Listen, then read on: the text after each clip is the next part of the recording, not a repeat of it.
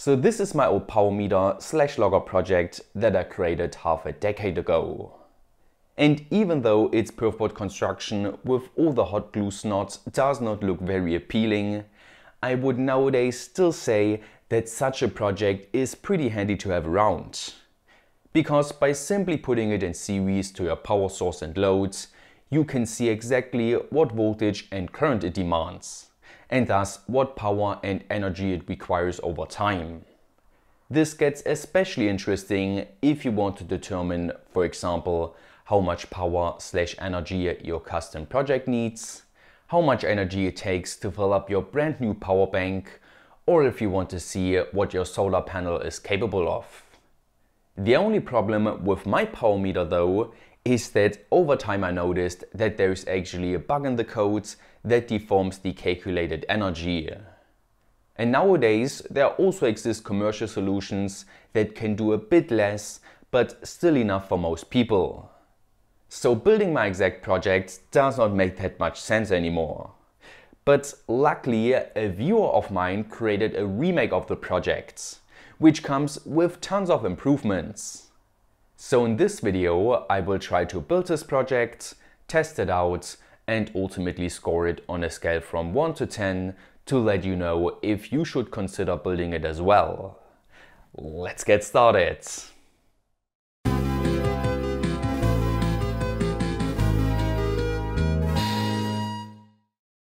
This video is sponsored by JLC PCB, who produced the PCBs for this project, which like always were flawless regarding their quality. And now they can even do up to 20 layer designs for still an unbeatable price. If you're interested, then upload your Gerber files today to order your professional PCBs. Now first off, let me tell you that all the files for this project are available on Hackaday. And that is where I also downloaded not only the codes, but also the EasyEDA files. To use them, I obviously had to sign into EasyEDA and then open them as a schematic and as a PCB design. And just like that, with very little effort, we got our finished schematic and PCB, which at this point we could customize if we want to. But since I was not interested in that, I instead firstly had a closer look at the schematic to see what changed. The heart of the system is this time an ESP32C3, which looks like this and is a big step up from the Arduino Pro Mini I used before. Basically put, it is fast, comes with more storage and way more features, including Wi-Fi, Bluetooth and even an integrated real-time clock. Another cool feature comes to mind when comparing it to ESP8266 or ESP32 development boards that I used before. Those boards always come with a small USB to serial converter, so that your computer and microcontroller can talk to one another, which also means it is mandatory for programming the microcontroller. This new ESP32C3 apparently though does not need such a converter, and instead can directly connect to USB-C ports data pins like shown here. Very handy and saves us money. The only thing I didn't like about this microcontroller was its package with the pins only accessible from the button, but more about that later. And in case you were wondering what these 5.1 kilo ohm resistors are doing at the CC1 and CC2 pins of the USB-C ports, then firstly let me show you what happens when not using them. As you can see, uh, when using a normal USB-A to USB-C cable, then we get our desired 5V power from which we can also draw quite a bit of current. But when using a USB-C to USB-C cable, then we get absolutely no voltage at the USB port. So the two small resistors are required for the power supply to know that it is supposed to output 5 volts. And as you can see, they seem to do their job perfectly fine. But moving on to the second big change, which is this INA3221 IC, which is a triple channel measuring IC in comparison to my old design that utilized the INA219, this new one can basically measure 3 current paths while my old one could only do one. And when saying current path, I of course mean measuring a voltage drop across a defined current shunt, which then allows us to calculate the flowing current, the power and also the energy. And if you're thinking to yourself, what is the point of measuring more than one power source and loads, then let me tell you that there are certainly situations for that. Which is why I built my old design twice over the years. Okay, now to end the schematic part, let me just say that all required decoupling and filter capacitors were in place.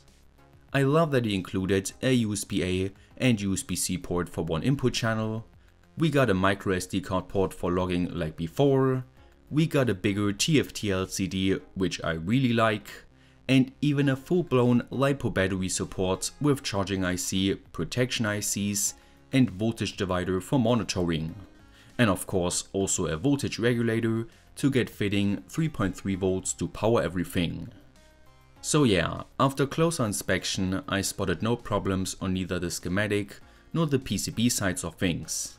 Which is why next I ordered my PCBs through JLC PCB along with a stencil for later spreading the solder paste. And while doing that I also shopped on LCSC to get all of the required components. And after a week of waiting everything arrived at my place and it was time for the assembly. To do that, I simply positioned the stencil on top of a PCB and spread the solder paste all over and through its fine holes. Then all I had to do was placing all of the SMD components onto the correct spots on the PCB. And to help you with that, I would recommend checking out the BOM file for the PCB. And you can also search for specific components on it. By the way, uh, I'm assembling two PCBs here just in case one doesn't want to work. And in hindsight, that was definitely the right move. Because as soon as all the SMD components were in place, it was time to reflow the PCBs. And that is where problems for me started, because the PCBs were too big for my hot plates. But after heating up both sides of the PCBs and doing some additional reflow work with my hot air gun, and soldering iron, it was time for the easy part, and that was inserting all THT components and soldering them in place. So after 3 hours of work, the end result didn't look half bad. But before programming the boards, I first had to update my ESP32 boards library, so that it does include the ESP32C3. And I also had to install all the libraries the code of Uvideo utilizes. But after that, I was happy to find out that the code for the first board uploaded without a problem. On the other hand though, the second board was not recognized by the computer. And that is where the package of the ESP32C3 comes into play. Because you cannot see whether the soldering process worked out fine. So I did a bit more of reflow soldering, and eventually even replaced the microcontroller. But no matter what I did, this board didn't feel like working with me. That is why I was very happy that I made two boards, because the second one functioned without a problem. So let me begin telling you the positive aspects of this project. Navigating through the user interface is pretty intuitive, even though not all button presses get always recognized. The measurement functions all work perfectly fine, came with good accuracy and the USB ports for measuring did also work. And needless to say, the energy calculating bug does not exist in this project. I also really like that the battery voltage is visible at all times. And of course, the battery charging and protection does all work just fine as well. Last but not least, the SD card logging functioned without any problems and I like the way he made his codes, because it is really easy to browse through and understand, unlike some of the code I published before. The only thing missing for me at this point was an efficiency mode, that basically uses one channel for the input power and another for the output power. And thus we can calculate the efficiency of for example a buck converter. I tried implementing this feature by myself, but I kind of ran out of time and thus only got it halfway implemented.